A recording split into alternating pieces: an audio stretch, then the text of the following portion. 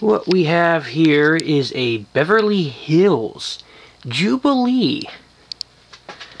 It is a pinwheel type of fan. As far as pinwheels go, there really were only two types, and I think they were all made by Halsey.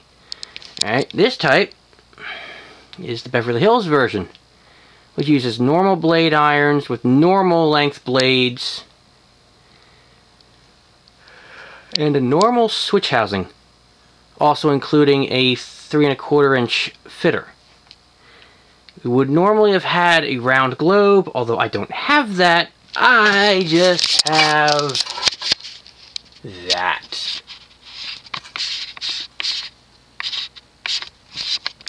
Yep. I just have that. Yep.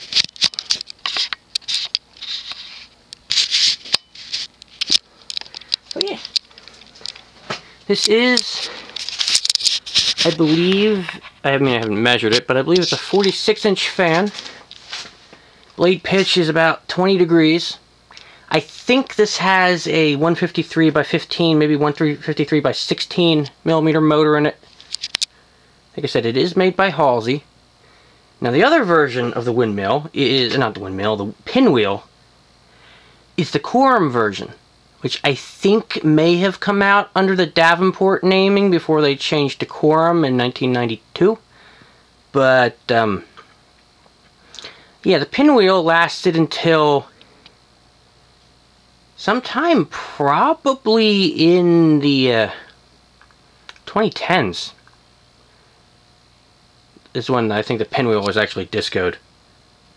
So, mm, but, so yeah, this is, like I said, a pinwheel fan. It basically has the same housing as, say, any builder fan, any 42-inch builder. But the motor is pretty big for a 42, 44, 46 inch fan, and blade pitch is steep. So, how does it perform, I wonder? Hmm, let's see.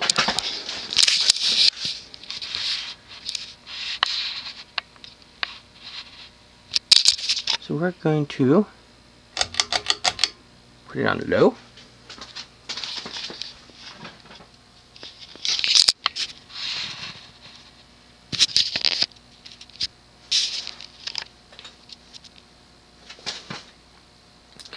Now when I saw these, you know, in Habicraps and what have you, I kind of passed them off as cheap imitations of the uh, pinwheel from Quorum.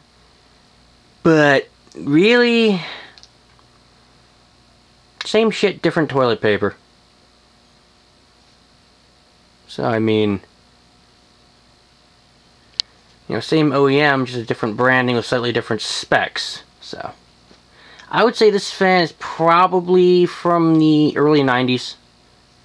Because Beverly Hills stopped being a thing probably sometime in the mid-90s when they became the LA Fan Company which then evolved into the current modern fan company.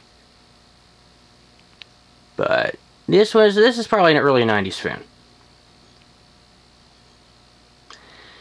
Yeah, basically realized, oh, one of the Habicraps moved. So, went to found the new location and hollowed out Babies R Us. Alright. Still had a bunch of day turds, by the way. 48 inch, but yeah, they were still there. And anyway, saw this. Hmm, five bucks. It's like, okay, I'm leaving with you.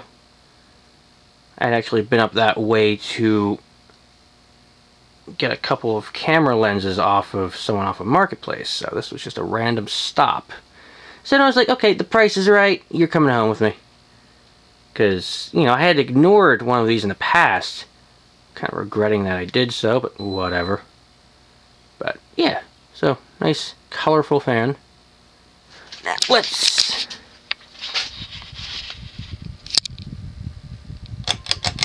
put it to medium. Now, thankfully, this fan Oh, all the settings all kinds of messed up. There we go. 60 frames per second. That's where I wanted it. But yeah, I mean, it's actually moving a pretty good amount of air even on medium. And the speed's not bad either.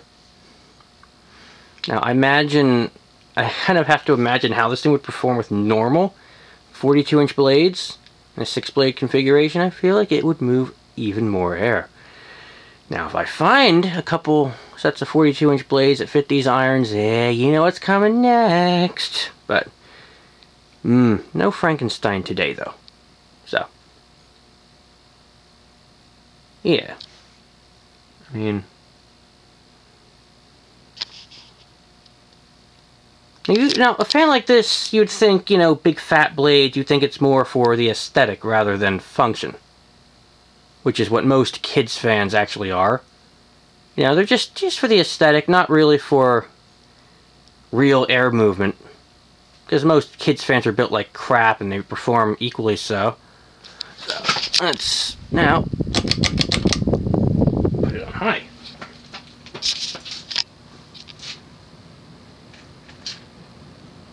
Now, this thing actually moves a lot of air.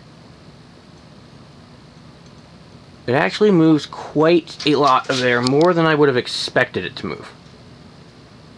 You know, so, I mean...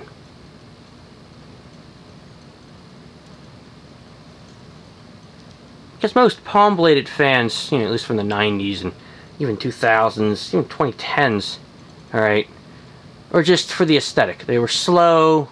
Oh, they moved some air, but not a lot. So people would get them and like, oh, why doesn't my fan move air? Like, you didn't understand what you were getting. These fat palm-bladed fans are more for the aesthetic rather than function. Now, of course, that's starting to change because, you know, Hinkley actually bought up Regency. They introduced Actually, they didn't introduce, they, they upgraded an existing palm-bladed fan that they had. Steepened the blade pitch to 20 degrees, put a big, big DC motor in it, and it hauls. So, but aside from that, I mean, you know, we're talking simple concept here, big fat blades. But this thing, it actually moves a lot of air, probably because of how the blades are profiled. Because they're fatter more at the base rather than the tip. So that by default means it's going to move more air, but still, it's a pretty big 153 in it at least. So, I mean, overall not bad. Now, do I want to put this thing in the museum? That's the real question, because these things are curious beings. You know. They didn't exist for too long, and for the most part, there was only one brand that had this style, and that was Quorum. But, yeah, these things, they're not stupid, stupid common, but I've seen a couple of them, so figured, yeah, get one while I could. Now, let's let it coast. Yeah, I just happen to have a socket fitter adapter in my possession, so you can just put random glass shades wherever you want. Ooh. To dress up those crappy porcelain sockets in basements or this or that. So, woo!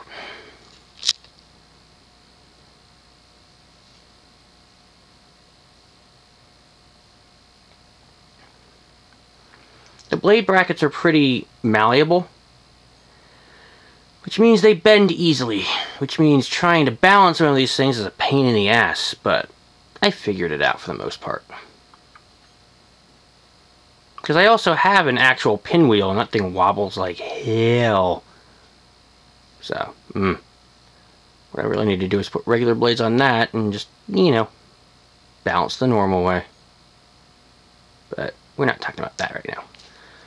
But anyway, here you have it. A Beverly Hills Jubilee pinwheel type fan. Woo!